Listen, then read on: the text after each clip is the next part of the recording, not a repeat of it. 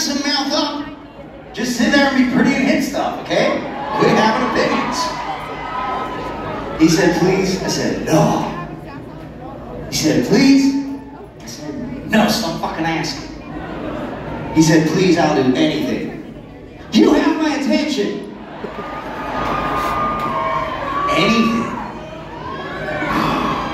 We live in a world full of way too many possibilities for anything.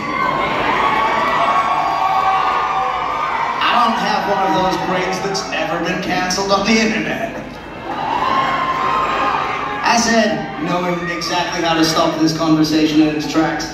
Okay, James, I know what we'll do to play the song. We'll play it if, while we're on the subject of anything, you send a compromising picture of your penis and testicles and butthole all together, clustered in a fruit bowl configuration. I believe the kids call it the goat these days. I don't know why I needed a rebrand, but here we are.